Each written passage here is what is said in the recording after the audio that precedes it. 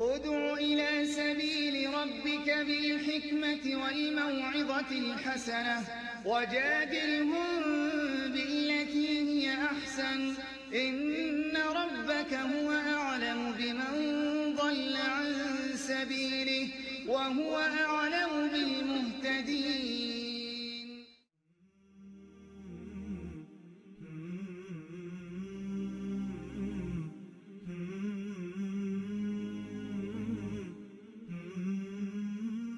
بسم الله الرحمن الرحيم আলহামদুলিল্লাহ কাফা সালাম আলাইবাদহিল্লাদি নস্তফা মাবাদ সম্মানিত ভাই জানতে চেয়েছেন যে তিনি সলাতে কেরাত পড়তে শুরু করলেন অতপর কেরাতের মাঝখানে যেয়ে তার স্মরণ হচ্ছে না এখন তিনি কি ওই সুরা বাদ দিয়ে অন্য সুরাতে যে পড়তে পারবেন না রুকুতে যাবেন এই ক্ষেত্রে তার করণীয় কি? আকুল আবিল্লাহি তৌফিক। কোনো ব্যক্তি যদি নামাজে কেরাত পড়তে পড়তে ভুলে যায়, স্মরণ যদি না হয়, তাহলে দুই অবস্থা। এক হচ্ছে সুরা ফাতিয়া পড়তে পড়তে যদি ভুলে যায়, তাহলে সুরা ফাতিয়া পরিপূর্ণ না পড়া পর্যন্ত তার ওই রকাত শুদ্ধ হবে না। কারণ সুরা ফাতিয়া হচ্ছে নামাজের রকন। সুরা ফাতিয়া ছাড়া নামাজ পরিপূর্ণ হবে না। রাসুল সাহেব বলছেন লাসলাত লিমাল্লাম একরা বি ফাতিহাতিল কিতাব। যে নামাজে সুরা ফাতিয়া পড়া হয় না, তার নামাজ বাতিল বলে গণ্য হবে, তার নামাজই হবে না। সুতরাং এই ক্ষেত্রে লক্ষণীয় আমাদের সকলকেই কমপক্ষে সুরা ফাতিহা শুদ্ধভাবে তেলোয়াত করার প্রতি গুরুত্ব আরোপ করতে হবে। সুরা ফাতিহা সারা নামাজ হবে না। সুরা ফাতিহার পর যে আর সুরা যুক্ত করা হয়, আপনি যে সুরাটি অথবা কোনো সুরার আয়াত পড়ছেন, পড়তে পড়তে যদি ভুলে যান, সেই ক্ষেত্রে ওই আয়াতটি যদি স্মরণ না হয়, তাহলে আপনি পরের আয়াত থেকে পড়তে শুরু করুন। পরের আয়াত থেকেও যদি আপনি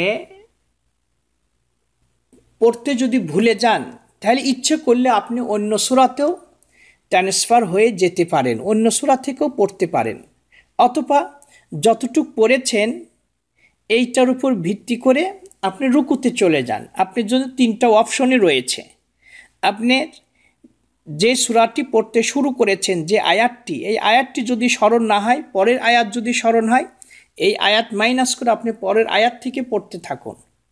অথবা আপনি অন্য সুরাতে ট্রান্সফার হয়ে যান, অন্য সুরা থেকে পড়তে থাকুন।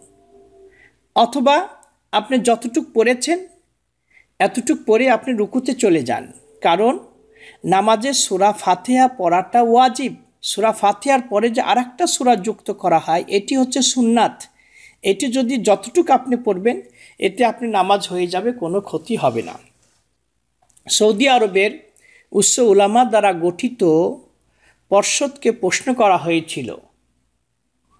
তিনারা যে উত্তরে যা বলেছিলেন তা হচ্ছে এই, মান নাসিয়া সুরা বাদাল ফাতিহা ফিস সলা ফালা শাই আলাই সওয়াউন কানা ইমামান আও মামুমান আও মুনফারিদান, সওয়াউন কানা তিসলা ফরদান আও নফলান ওয়াদালিকা ফি আসাহে কৌলাইল ওলামা সুরা ফাতিহার পরে আর একটি সুরা যদি পড়তে গিয়ে ব্যক্তি যদি ভুলে যায়, তাহলে তার নামাজের কোনো ক্ষতি হবে না। সে ব্যক্তি ইমাম হোক অথবা মুক্তাদি হোক একা একই অথবা একা একই নামাজ পড়ুক। আর নামাজ ফরজ হোক, নফল হোক, যে নামাজি হোক, এতে কোনো ক্ষতি হবে না। এটি হচ্ছে ওলামাইদের মধ্যে যদি, মধ্যে এই ব্যাপারে যে দুটি মত রয়েছে, তার মধ্যে সবচেয়ে নির্ভরযোগ্য মত হচ্ছে এটি। ফতু আলাজনা দাইমা, সপ্তম খণ্ড, একশো ছিচল্লিশ পৃষ্ঠা। সুতরাং আপনি ইচ্ছে করলে রুকুতে চলে যেতে পারেন, এটা কোনো সমস্যা নাই।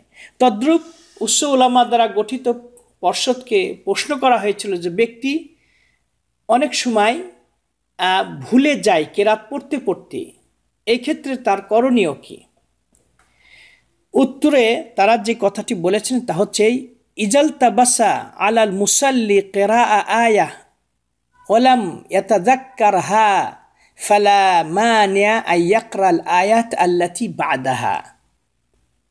কোনো ব্যক্তি যদি আয়াত পড়তে পড়তে ভুলে যায়, ওই আয়াত যদি স্মরণ না হয়, তাহলে পরবর্তী আয়াত থেকে পড়তে শুরু করবে, এতে কোনো নিষেধ নাই। ওলাকিন ইসরাউলাহু আল্লাহ ইয়াকরাফি সলাত ইল্লা মা ইউজিদু হেফদাহ লি আল্লাহ ইউকসেরা আলাইহিল ইলতিবাস, আও ইয়াকসুরু আলাইহিল ইলতিবাস।